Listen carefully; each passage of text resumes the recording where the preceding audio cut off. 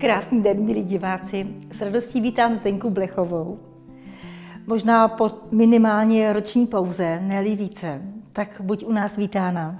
Já děkuji za pozvání, moc si toho vážím a jsem moc ráda, pozvání. že spolu zase můžeme tady sdílet ano. tento čas. A myslím, že jsi přišla v té nejlepší době, protože ty máš pro lidi vždycky spoustu dobrých rad a, a i praktických návodů.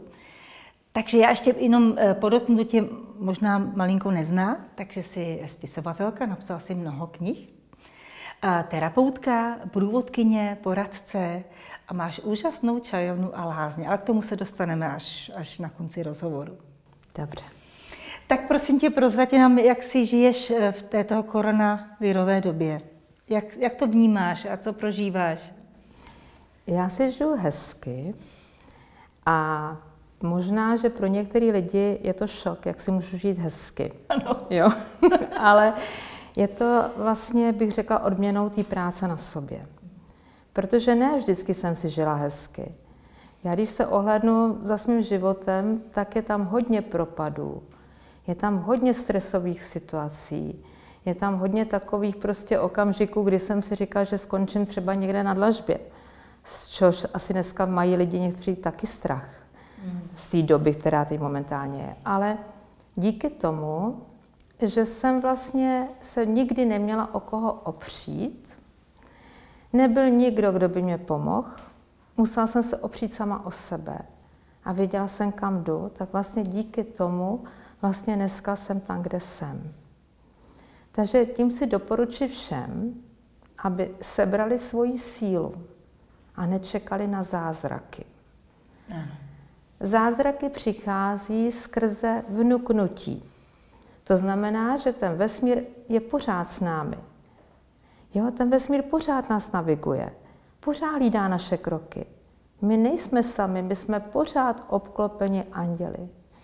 Ale záleží na tom, jestli když ty anděle nám tam vnuknou nějakou informaci, jestli my s tou informací pracujeme, nebo ji zahodíme, a budeme čekat na tu helikopteru, která nás zachrání. Znáš eh, ten jeden takový ten vtip, jak byla povodeň a ten farář v tom kostele prosil, aby ho ten Bůh zachránil.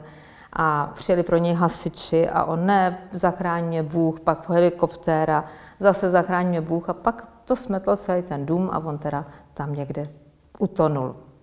A když přišel do toho nebe, tak říká tomu Bože, Bože, proč jsi mě nezachránil, když bylo to nebezpečí? A on říká, a kdo myslí, že ti tam poslal ty hasiče a ty helikoptéru? No, no. Jo? Přesně Takže tak. takto nás ten vesmír neustále hlídá a posílá nám ty pomocné rady a vnuknutí. Ale záleží na nás, jestli ty změny chceme dělat, anebo nechceme. A když nechceme, tak sedíme tady na té lavici že, nebo na té židli. A, když stěžujeme si. Tak, přesně. A hekáme. Ano. A když chceme udělat změnu, tak se zvedneme z té židle a jdeme něco konat. Víte, je zajímavé, že e, taková ta doba, kterou jsme dřív žili, že jsme žili utrpení jeden druhého, že vlastně my jsme žili celý věky tím, že jsme se potkali, tak co, jak se máš? Ani se neptej, je to hrozný a ten má starosti a ten má dluhy a tady tomu pomáhám a tu to mě bolí. Je a tak to je hrozný, veď prostě. No a já mám taky, víš, a tuhle to.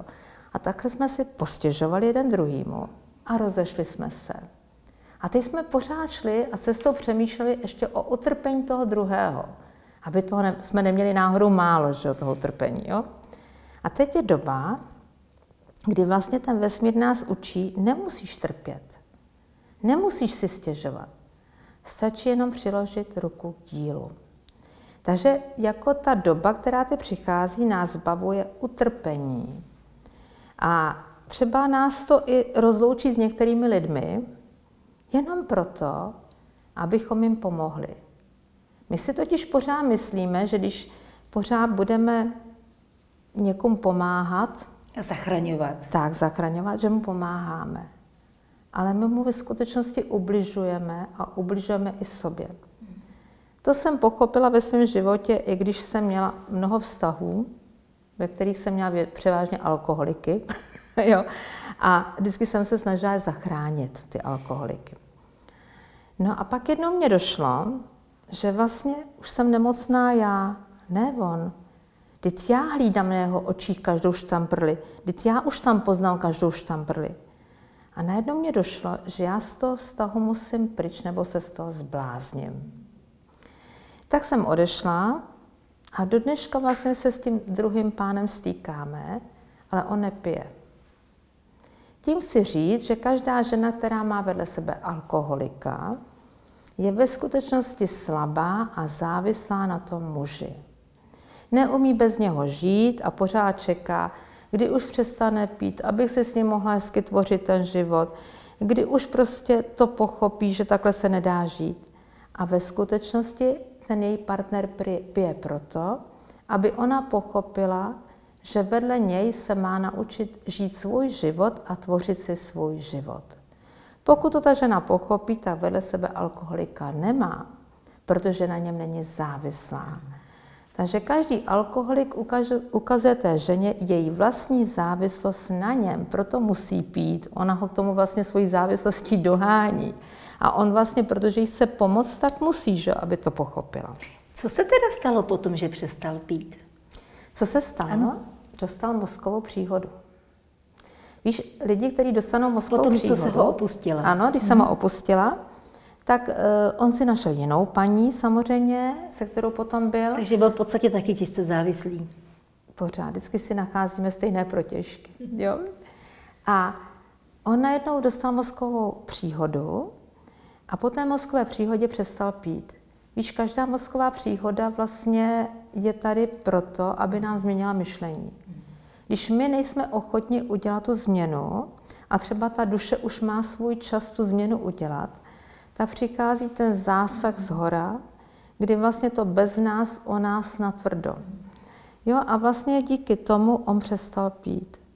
Můj bejvalej taky pil, já si pamatuju, když jsem byla na mateřské, mě to lezlo na nervy, vždycky přišel opilej a vždycky tam do mě prostě ryl. A já jsem říkala, ne, já budu v klidu, já se nenechám vyprovokovat. Protože vždycky jsem si říkala, teď se vyprovokuju a pak zase tři dny mě trvá, než se dostanu do své pohody. A pak vždycky on mě dokázal tak rozčilit, jsem se vždycky rozčilila, on si šel lehnout, usnul a já tam byla na nervy vždycky, jako jo.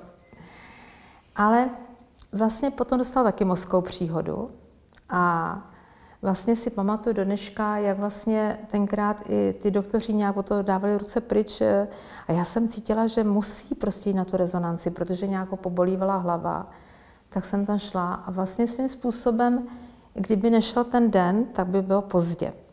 Takže jako najednou člověk cítí, že něco nepořádku a udělá to. To je to vnuknutí. Takže vlastně dneska dá se říct, že jsem mu zachránila život, ale my spolu vycházíme dneska hezky. On dneska nepije, my s kolikrát s tou dcerou se sejdeme všichni u nás na Bolevci a povídáme si.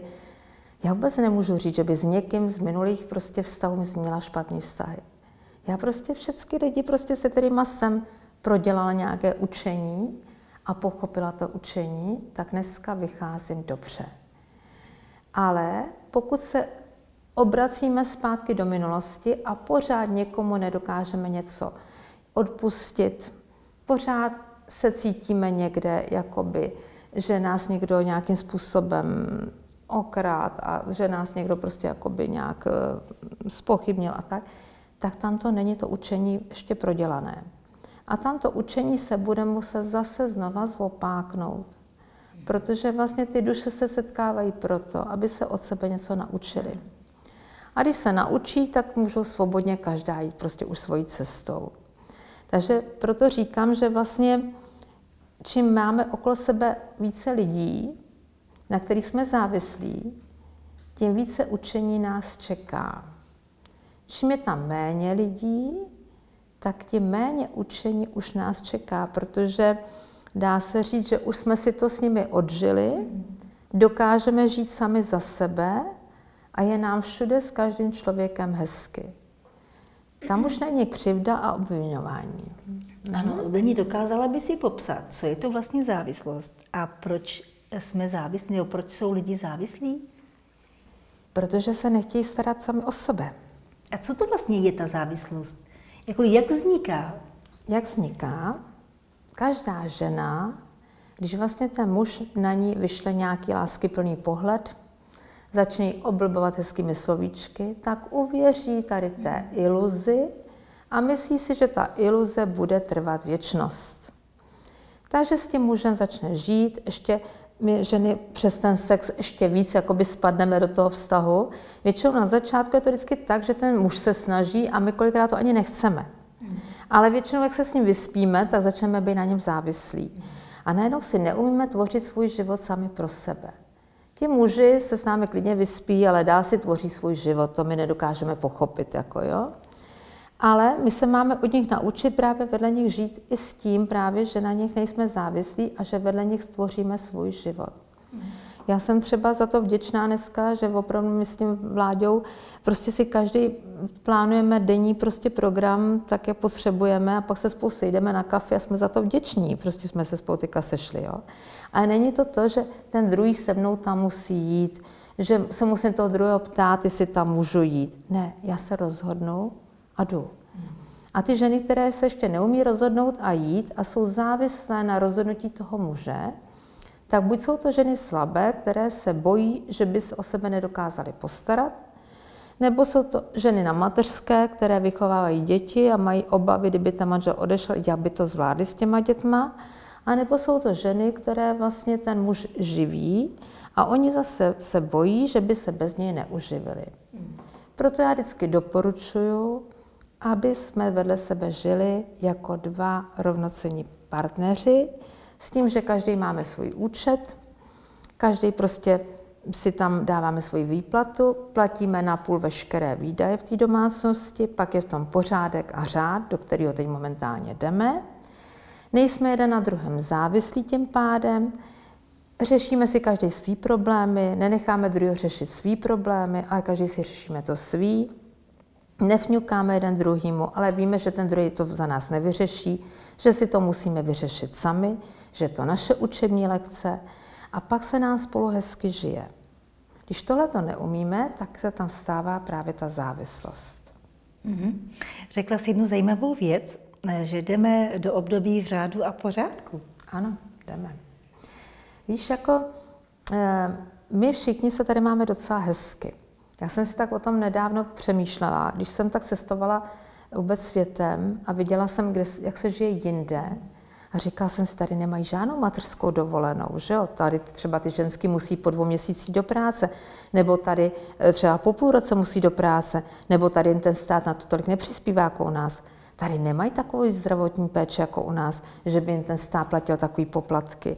Tady nemají důchody, tady oni musí spolehat na ty děti, že se o ně postarají třeba na starý kolena. Takže takhle, když jsem jezdila po tom světě, uvědomila jsem si, jak se jinde žije. A my tady pořád nadáváme, tak vlastně musí přijít něco, co nás naučí tomu řádu. Když jsem jednou šla lesem, tak přede mnou šla nějaká starší paní a povídala si s druhou. A povídala jí, to je strašný, jak máme malý důchody teďka, prostě ta vláda se o nás vůbec nepostará. A já jsem si tak v duchu říkala, a proč jsi se nestarala o sebe celý život? Mm-hmm. Proč si celý život nepřemýšlela o tom, že budeš jednou stará a že by si si měla něco našetřit? Proč si celý život někoho živila jinýho? Proč si celý život třeba, já nevím, dotovala děti a mhm. dneska očekáváš od vlády peníze? A nebo utrácela a nešetřila, tak, že jo? Tak, přesně. Takže to je ten řád, to je ta odpovědnost sama za sebe. Že my kolikrát dáme někde jinde, ale očekáváme zase od někoho jiného, že nám to vrátí. Taky mi řekla jedna paní, mi řekla, Eh, jo, tak já jsem celý život vlastně těm mužům dávala, tak teď by konečně mohl přijít nějaký chlap, který mi to oplatí. Takhle my přemýšlíme. My si myslíme, že když jsme někde dělali nějaký dobro, že se nám to dobro musí vrátit. To je chybný uvažování. Jo, protože to dobro je v tom, že činíme pro sebe a když máme dost pro sebe, tak máme z čeho dávat druhým. Ať už je to po stránce sebelásky. Moje maminka vždycky říkala, já vás mám ráda, ale sebe nemám ráda. Mm. Jak mě může mít ráda, když neví, co to je láska? Jo? Nebo když prostě mám málo a ještě z toho mála půjčím peníze a pak nemám na nájem, tak jde potom jako. To jsou všechny ty staré vzorce, viď? Ano, přesně tak. Mm. Abychom se zalíbili druhým, mm. ale vůbec nepřemýšlíme o sobě, že my máme být v pohodě, abychom tady prostě přežili. A proto teďka ta doba, která přichází, zúčtovává. Bohužel je to tak.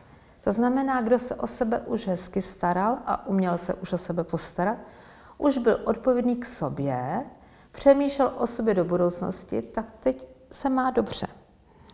Spoustu lidí, kteří třeba u mě byli poradně před léty a když eh, třeba, dejme tomu, nějaký problémy a popovídali jsme si o tom, tak vlastně změnilo vlastně pohled na život. Dneska třeba pracují, jsou v tom spokojení a mají se dobře. Ale spoustu lidí, kteří vlastně pořád jakoby se drželo těch vztahů, aby na to nebyli sami v tom životě, tak ty právě třeba mají problémy, protože se té samostatnosti mají naučit. To je, já bych řekla, to je hlavní heslo do budoucna. Buďme samostatní, jenom tak budeme zdraví eh, lidi, prostě zdraví, zdravým člověkem, že? Tak, přesně tak. I moje sestra, eh, se kterou jsem, já vlastně už nemám ani, dá se říct, kontakt s nikým. Já prostě jenom s těma lidma, kteří prostě přijdou do poradny, nebo většinou dneska dělám poradny po telefonu, nebo že se takhle sejdeme, ale o to víc jako cítím prostě takovou tu láskyplnou atmosféru, kamkoliv přijdu, že se tam cítím dobře. Mm. Nebo když se náhodou sejdeme s někým, tak není to nucený, není to povinnost, ale je to teď prostě a je to nádherný. Když ke mně přišla nedávno kamarádka říkala, no a když také přijde za tebou někdo známý a na něco se tě zeptá, tak přece musíš dávat rady. Já si říká, já nikomu žádné rady nedávám. Já jsem říkala, já vlastně si žiju pro sebe. A když si jdu s někým třeba popovídat a není v poradně, tak já se mu do života nepletu. Jenom když přijde do poradny, tak mu to radu dám. Ale jinak ne, jinak si s ním jenom hezky popovídám. Nemáme právo zasahovat jeden druhému do života bez zeptání, nebo protože si myslíme, že tohle je dobrý. Jo? A já jsem říkala, no a já dneska žiju tak, že vlastně já si žiju pro sebe, takže já se jdu sama projít.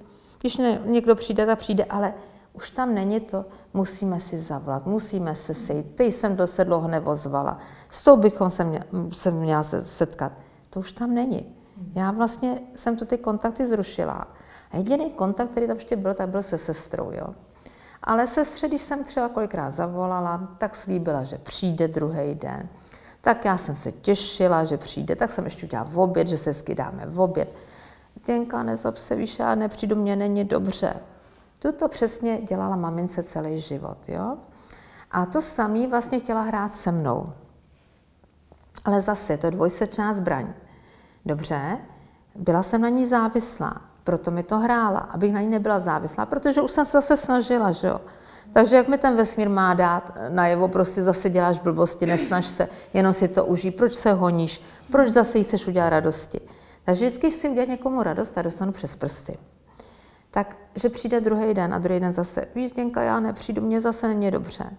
Danka, dobrý, tak jo. Pak jsem si šla někam jakoby na nákup a říkala jsem si, tak já se u ní zastavím, když ní není dobře. Tak ji voláme si doma a ona říká, no teď jsem na cestě tady s Lukem a úplně jiný hlas. Já se říká, víš co, Anka, už se tě doprošovat nebudu, jsem říká.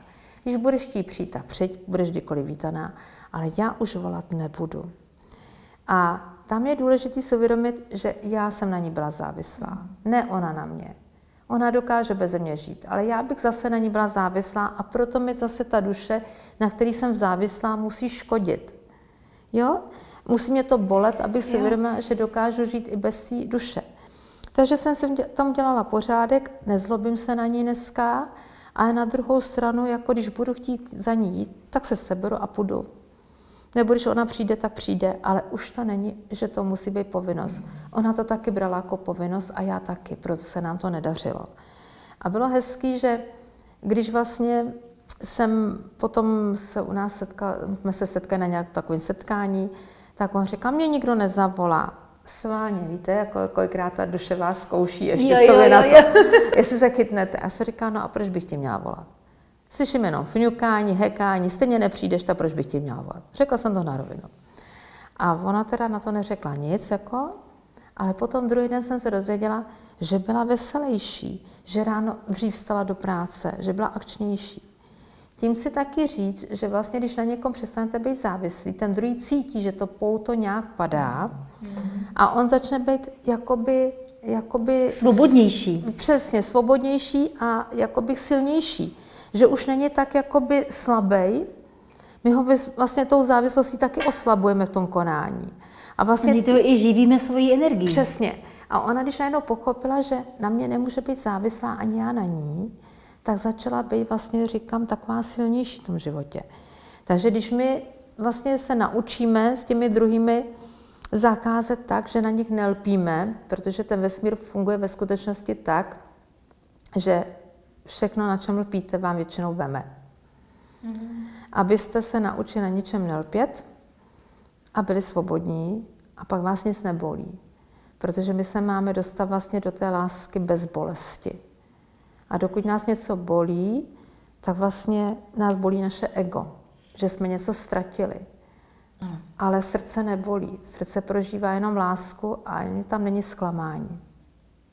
Zdeně dalo by se říct, když dva lidi na sobě jsou závislí, že si navzájem eh, blokují energie nebo berou energie? No jasný, jasný.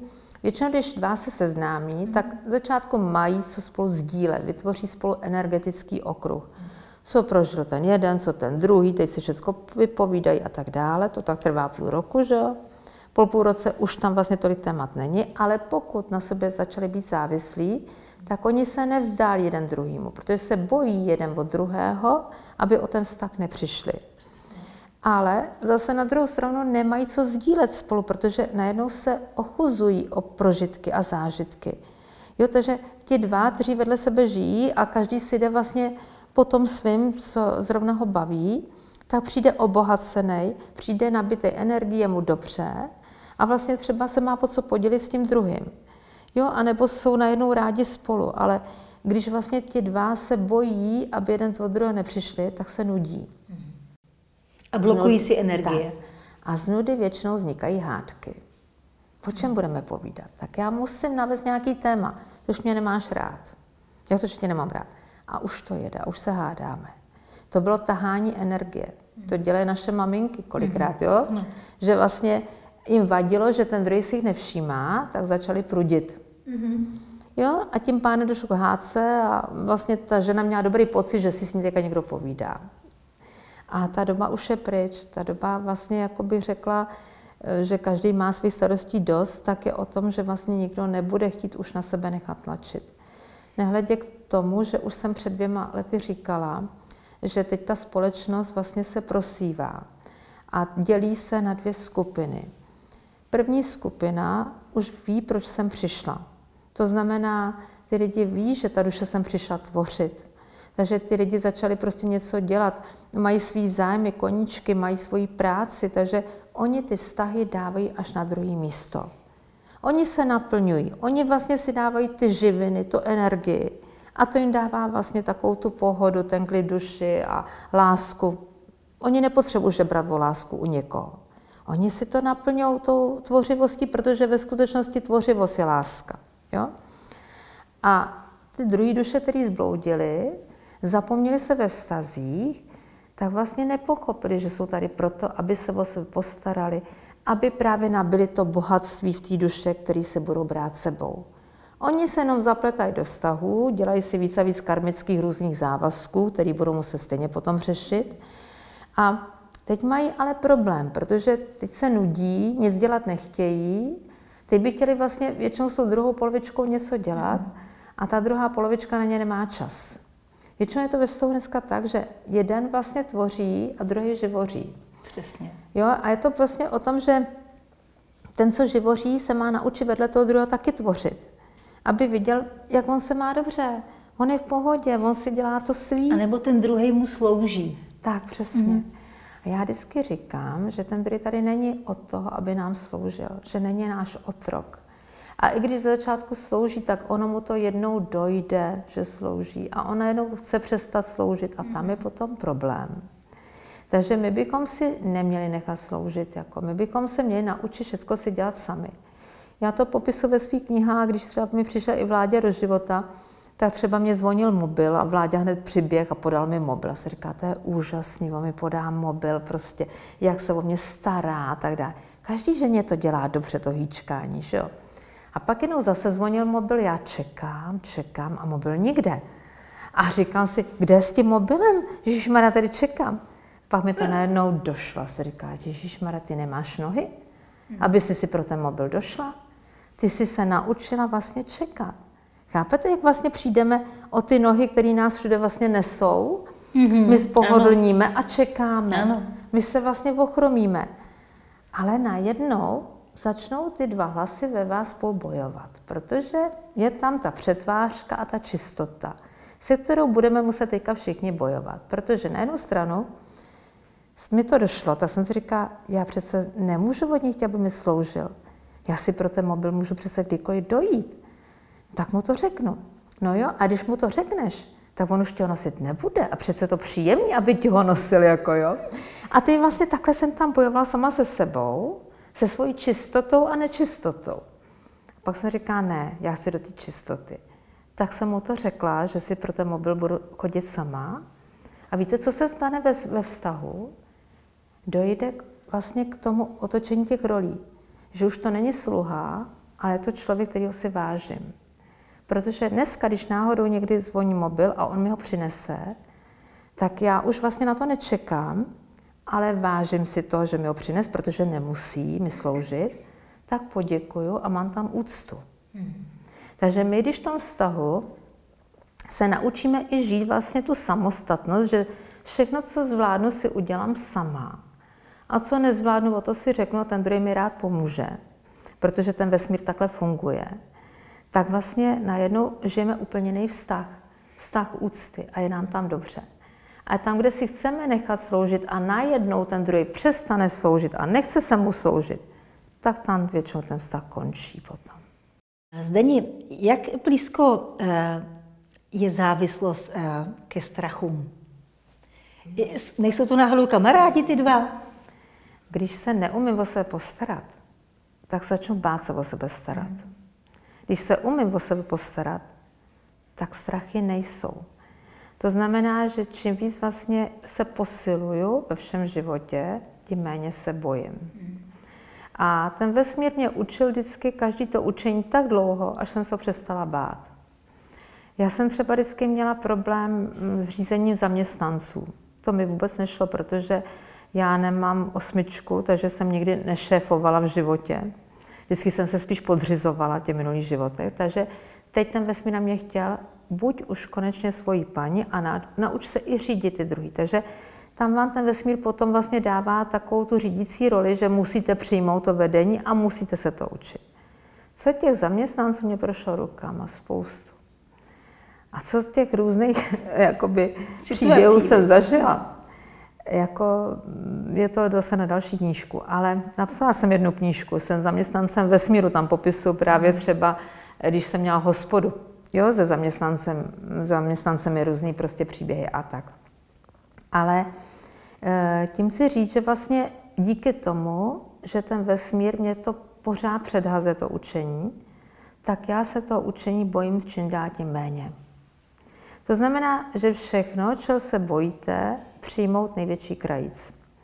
Pak vlastně to přestává existovat. Ale nejde se tomu zbavit tím, že poprosím, ať to za mě někdo vyřeší, dám to někomu, aby to za mě vyřešil. Tím se to nenaučím. Takže já se musím naučit, vlastně říkám, všechno přijmout a dělat. Ale víte, co je úžasný? Ještě je dobrý nedělit se o svý strachy s druhejma. Já když kolikrát dělám semináře na zbavení strachu, tak vlastně těm lidem ukazu na různém cvičení, jak vlastně my svý strachy ještě dáváme těm druhým.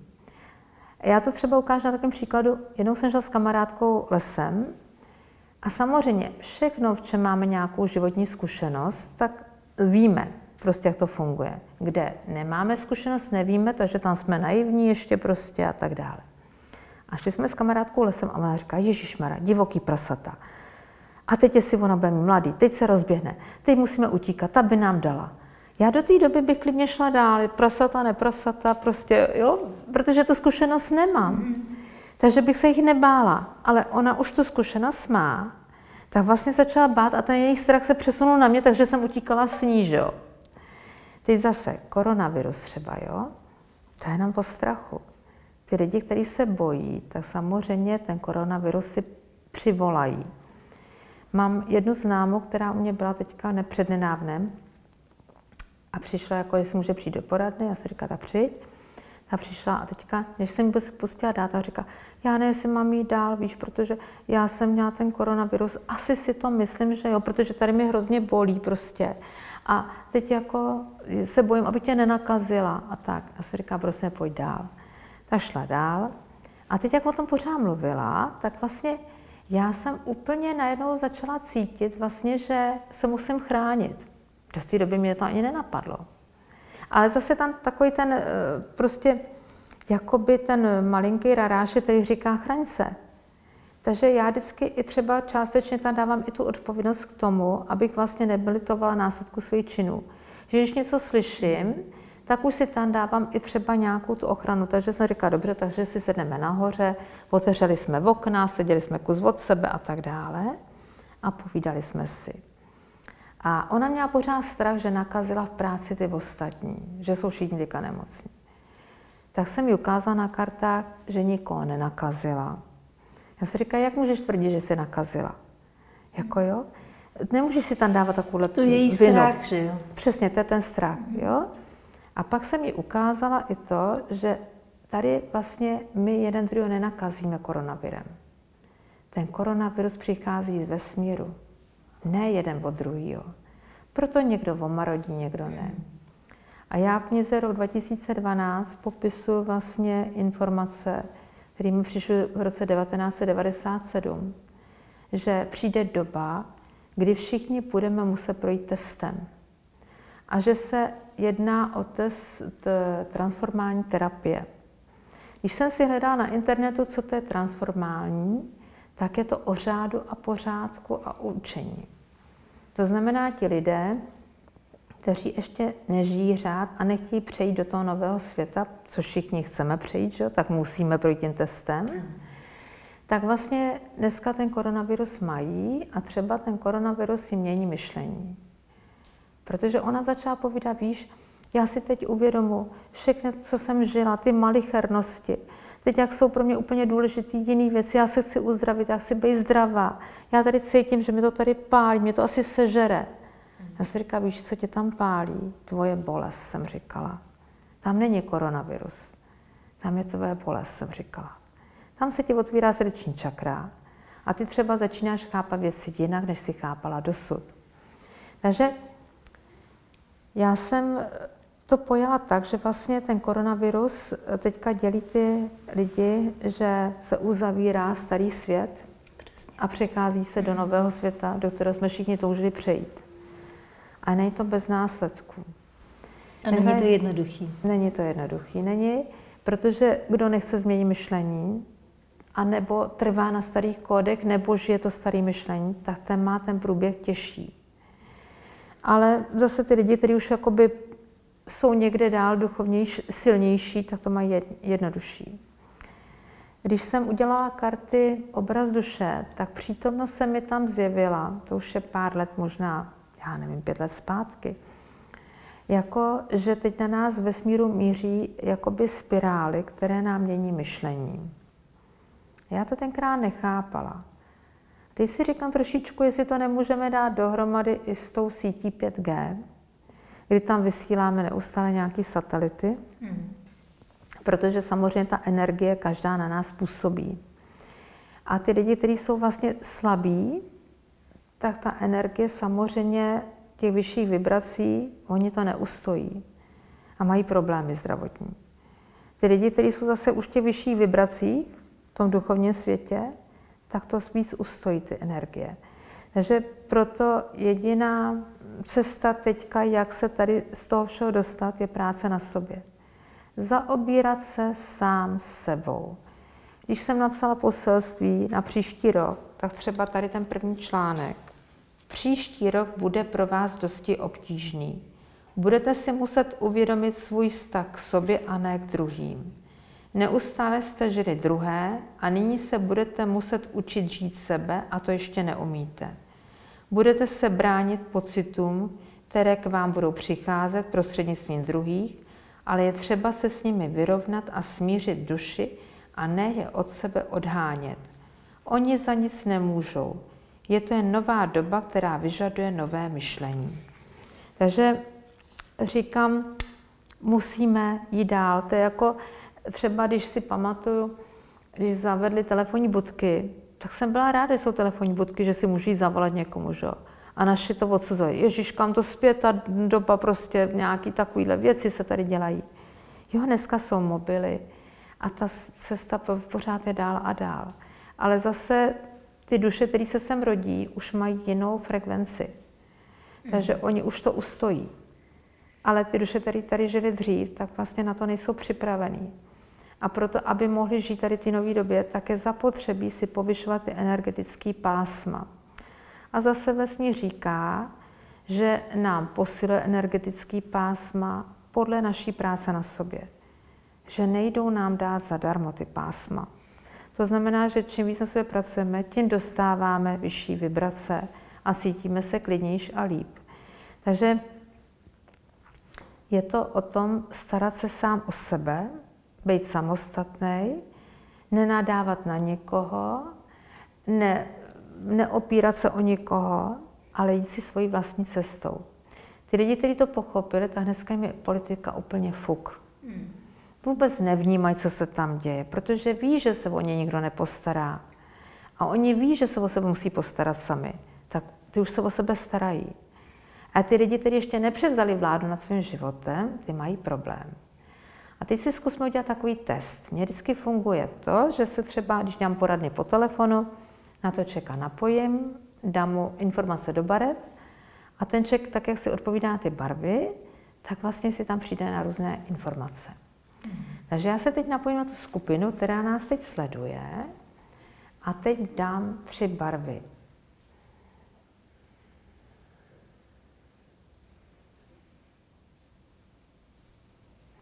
Takže vyberete si žlutou, zelenou a nebo hnědou barvu.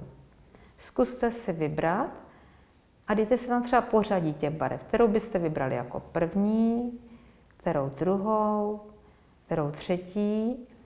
A dejte si ke každé barvě eh, informace, které vám budou potom eh, říkat vlastně něco víc k té barvě. Nejenom třeba pomeranč, ale prostě něco víc, aby to bylo srozumitelné pro vás potom.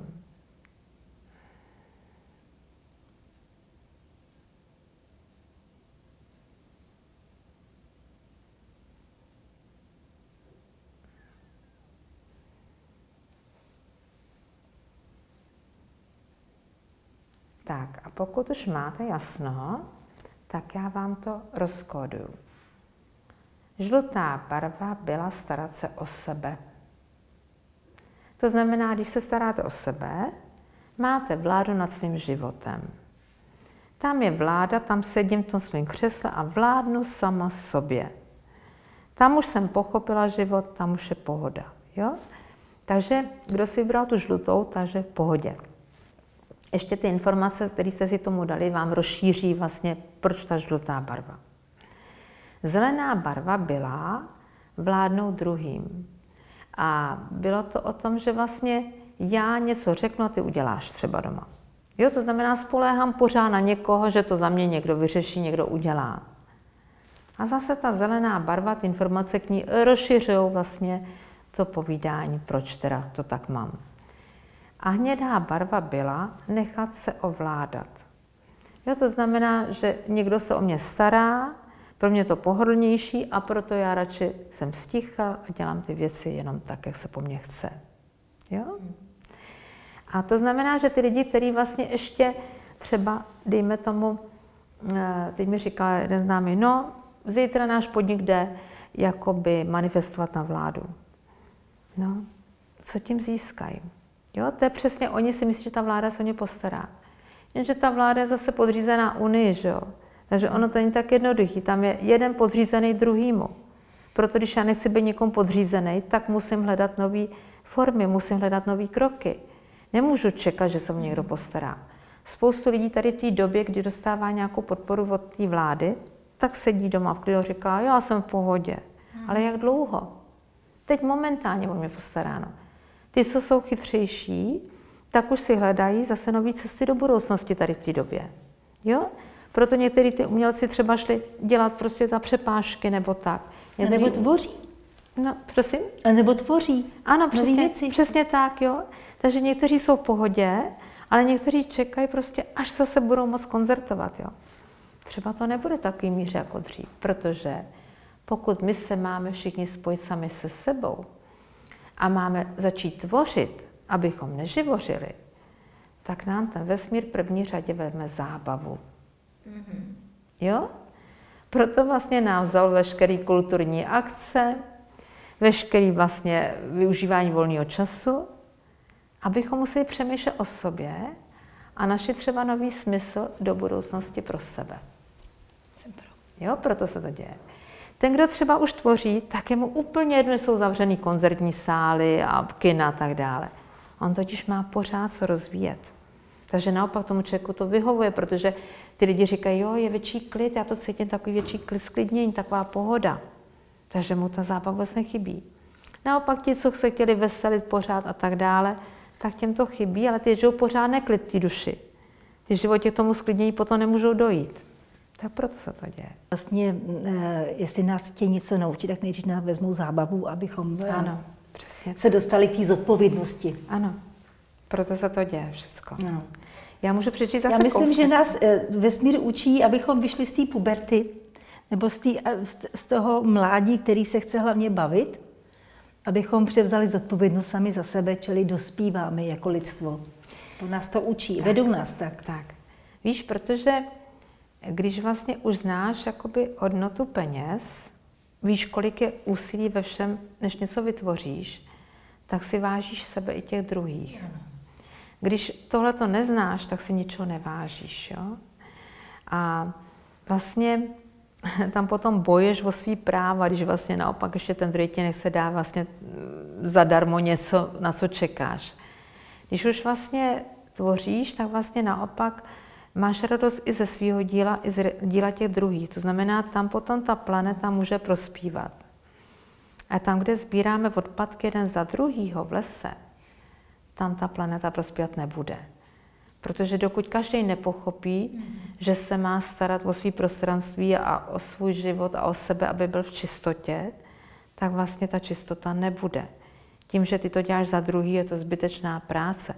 Taky jsem to dřív dělala, že jsem chodila po lese, sbírala jsem odpadky za druhý a myslela jsem si, že dělám záslužnou práci. Časem jsem pochopila, že ty odpadky tam za týden budou zas. Že vlastně já můžu tady do konce života sbírat odpadky. Takže člověk by se měl naučit opravdu být u sebe. A víš, jako když to najdeš, tak vlastně je ti úplně jedno, jestli jsi doma, nebo jestli cestuješ někde. Prostě tobě je dobře vlastně s tím svým chrámem kdekoliv. Mm. Mně se líbilo jednou taková zkazka, kdy ta jedna paní přijela vlastně do Afriky a tam ji potkal ten domorodec a říká, co tady děláte? On říká, jdu sem zachraňovat prales. A on jí říká, co pak vy doma nemáte stromy? Víš, a to je to nádherný, že si neuvědomujeme, že vlastně my můžeme zachraňovat sami sebe kdekoliv. A ne někde pro někoho. Já přečtu zase kousek, jo? Lidé k sobě bud- se budou chovat přívětivěji, ale v rámci možností. Už to nebude o družnosti, ale o možnostech. Lidé si budou uvědomovat, že není třeba lpět na tom, aby mě měli druzí rádi, ale abychom, abych se cítil dobře já a tím se našel ve svém konání. Konání lidí bude ovlivněno, ovlivněno jejich vládou nad svým životem. Pokud pořád budou spoléhat na vládu nebo budou pod nadvládou někoho, nebude se jim dařit nalézt klid v duši. Ale ti, kteří už pochopili, že jejich život je v moci a pomoci sobě, budou se mít dobře. Víš, teď taky třeba jde i o tu migraci národů, že jo? Protože vždycky vlastně éře vývoje planety, tak ta duše, která pochopila vlastně svůj růst eh, v určitém prostoru, tak potřebuje jít do jiného prostoru. Takže vlastně teďka vlastně ti migranti, kteří přichází vlastně mm, tam já ne, z Afriky nebo odkud z Afganistánu a tak dále, tak ty její duše ví, že tam už prostě se nemají co naučit. A že se chtějí rozvíjet někde jinde. Takže vždycky tady ten příval té migrace na té planetě byl vždycky. Ten se opakuje pořád. A právě ta duše, která tvoří, už je zralejší, tak třeba ví, že jí to neohrozí, protože ona si dál bude budovat svý postavení. Ta duše, která je závislá na tom státu, tak třeba samozřejmě začne bát, jak to tady všichni zvládneme, jak se uživíme všichni s nima. Jo? Nehledě tomu zase, že se nedávno viděla takový krásný rozhovor v německé televizi, kdy tam jeden vlastně emigrant tam dostal velký dům, měl tam dvě ženy a já ne, asi pět dětí a říkal, že děkuje mm, mámě Merk, Merklové mm-hmm. za to, jak se o ně postarala, že dostávají takovou a takovou podporu a tak. A že si ještě zažádá, aby za ně mohla přijít ta třetí manželka. Jo?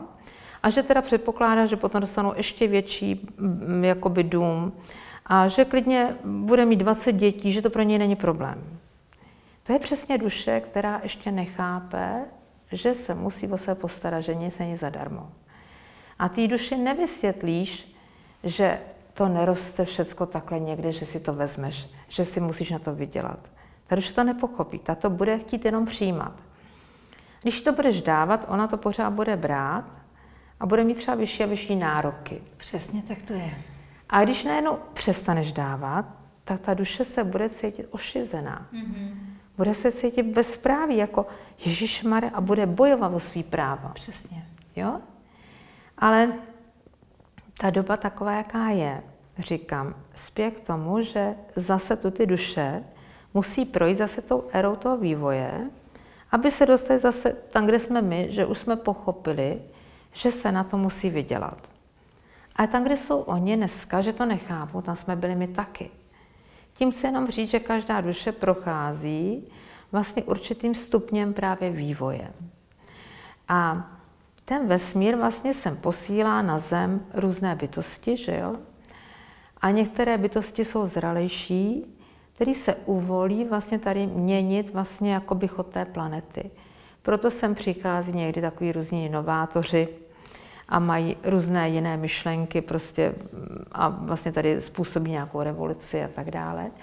Ale taky přichází se duše z jiných planet, který to tady chtějí co, jakoby tu míru milovnost nakazit. Jakoby, jo? Takže ten boj, který je ve vesmíru, dobro a zlo, je tady i na Zemi. Ten byl vždycky a bude vždycky. Ale ta duše, která prostě bude pevná ve svých základech, taky to ten boj nebude ohrožovat. Ale ta, která bude prostě slabá, tak se začne bát ta duše. Proto je tak důležitý se starat o sebe, abych opravdu byla silná a tady to mě neohrozilo. Cítila jsem se dobře. A vesmír říká, že teď vlastně sem posílá právě nějaké zase vyzrálé skupiny, které nám tady mají pomáhat teďka. A vlastně, že i těm některým duším, které jsou tady vyzrálejší na Zemi, tak vlastně nějaké ty zase duše, které jsou jenom v energetickém stavu, tak našeptávají vlastně, kudy mají vlastně jít dál a co mají vlastně dělat tady pro záchranu třeba té planety. Oni i ty pyramidy vlastně jsou hodně starý. A když mě vlastně přišla informace, že ty pyramidy vlastně měly lidem sloužit v různých nečasech, tak dneska jsem pochopila, že vždycky, když došlo k nějakému zániku planety nebo nějakému mm, převratu planety, tak ty pyramidy jsou postaveny tak, že zemětřesení je neohrozí. Oni zůstanou vlastně stát pevně, proto vydrželi vlastně už několik různých vlastně převratů té planety. A vždycky nám dávají najevo prostě, abychom si právě chránili tu planetu. Vždycky tady stojí jako by takový ty milníky toho času, mm-hmm. abychom si dávali pozor na to vlastně, jak zacházíme tady s tou planetou. Ale říkám, není to o té mírumilovné lásce, jenom že se potkáme a že se na sebe usmějeme, ale ta mírumilovná láska vlastně je z toho, že tvořím, vážím si a vážím si tím pádem všeho okolo sebe. Ono třeba lidi pořád posuzují lidi podle toho, jestli se usmívají nebo neusmívají, jo, třeba. Teď mi taky říká jedna kamarádka, že se hádali s tou druhou prostě, že spomínají pořád hezký vztah a že teď se hádali o tom, že ten Trump je takovej a ten Biden je takovej mm. a každá zastávala jiný stanovisko. A, a teď prostě, že najednou se nepohodli. 20 mhm. let spolu kamarádě, nenu se nepohodli. Jedna chtěla Bidena a, druhý, a druhá se zastavila Trumpa. Najednou každá měla jiný názor. Jo? A tak vlastně to jako to jejich kamarádství nabůralo. Protože vlastně do té doby ta, která jakoby se podvolovala té druhé, neměla svůj vlastní názor, hmm. tak ji ve všem vlastně přitakávala. Najednou dostala svůj vlastní názor a bylo zlé. Ta druhá to nepřijala. A to jim vlastně rozloučilo to kamarádství. Ale jak vlastně ta duše bude chtít jít do té čistoty, tak vlastně se nám tohleto ve vztazí bude s čím dál tím víc stávat. Přesně. Jo? A já jsem říká, a víš, proč se vám to taky stalo? Protože jste v obě dvě chtěli být slušný. To znamená, že pravda jako taková neexistuje. Pravda vesmír říká, že vlastně je kdo, pro koho, za jakým účelem nač. I Čapek ve své knize napsal, že objektivní pravda neexistuje. Takže my vždycky vlastně ten svůj názor, který hlásáme, tak se vlastně nám potvrdí budoucnosti. Tam vidíme, jestli ta naše pravda byla dobrá nebo špatná. Proto ten vesmír nás všechny vlastně soudí podle našich skutků. A my sami si vlastně přicházíme na svý skutky, jestli jsme jednali dobře nebo špatně. Hmm. A na to si přijdeme jedině tím, že vlastně to zkusíme. Bez toho prostě ta pravda nejde. A je krásný, Vládě mi řekla takový přirovnání, že někde viděl, byl příkop a tam stály vlastně eh, u toho příkopu z každé strany jedna bytost a tam byla prostě, tam bylo číslo šest. Tak jedna viděla tu šestku ze své strany jako šestku a druhá ze své strany viděla to číslo jako devítku. Mm-hmm. A každý měl pravdu, že jo? Mm-hmm, to je pravda. Jo, takže musíme si uvědomit, že každý může mít svoji pravdu a každý se jde svojí vlastní cestou a ta cesta ho vždycky dovede k sobě. Kde vlastně ten člověk si může potom uvědomit, ano, šel jsem dobrou cestou, všechno, co bylo, fajn, prostě nemám tam žádný prostě prohry, nebo že bych se s něčím prostě teďka ještě potýkal. A někdo třeba tam bude mít ty prohry, ale třeba to napraví zase příště. Ano, příště. Zdeně, já se tě nesmírně ráda zase příště povzvu. A určitě dřív než za rok. Ale prosím tě, ještě bych měla jednu otázku. Eh, ty provozuješ, nebo vlastně vy, eh, vy, vybudovala si nádherné lázně. A to je taková, eh, taková oáza pro duši, pro tělo, pro všechno. Pověz ještě divákům, prosím tě, kde a, a co všechno u tebe můžou dostat a užít si. Takže já jsem koupila na mm, Bolevci, je to památkově chráněná zóna v Plzni, statek před léty a tenkrát mi vesmír tam řekl, vy budeš tady velký projekt pro lidi. A já nechápala, jaký projekt. Teď já jsem to koupila, protože v jedné polovině bude bydlet dcera se svým partnerem, v druhé polovině toho domu budu bydlet já. Dcera se rozešla se svým partnerem a mě napadlo, že z toho udělám čajovnu. Tak tam vznikla čajovna meditační místnosti. Pak jsem jednou uklízela takhle tam garáž a říkala jsem si, to je škoda tady na garáž, tady by mohly být lázně. Tak tam vznikly, vznikly antické lázně v té garáži. Mám tam dneska páru s vonou esencí, je tam sauna se solnými panely a s kolorterapií. A ty jsem si říkala, no jo, ale ty věci z té garáže potřebuješ někam dát. No tak jsem naproti postavila garáž. Když byla dobudovaná, tak jsem si říkala, to je škoda na garáž. Teď tady by mohla být krásně umístěná hydromasážní vana. Takže jsem tam vytvořila hydromasážní vanu, provozovali jsme to a pak jsem říkala, ale ty lidi potřebují nějaký zázem, nějakou odpočívárnu, to je škoda tady takhle.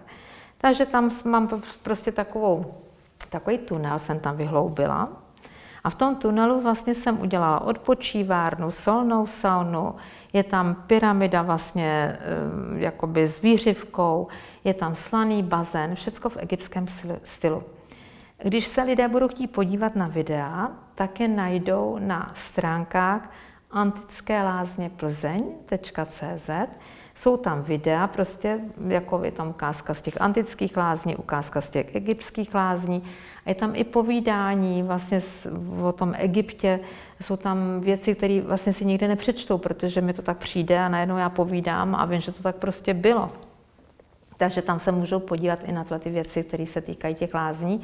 Jinak já tam vždycky v létě dělám týdenní pobyty, takže děvčata přijedou vždycky, ráno cvičíme na páteř, mm-hmm. potom jim udělám snídani, švédský stoly. Mm-hmm. Děvčata kolikrát vždycky říkají, už se těšíme na ty snídaně. jo. Někteří už tam jezdí po pátý. No, pak vlastně e, jsou v lázních celý dopoledne, to mají všechno pro sebe. Pak jdeme na oběd, odpoledne na sobě nějakým způsobem pracujeme a večer chodíme ještě za kulturou. Takže opravdu říkáme to docela takový... To je opravdu hýčkající. No, no, no, líbí se jim to, no. A kdyby chtěl někdo přijet třeba jenom prostě, já nevím, tam přespat nebo tak do lázní, tak samozřejmě to možný.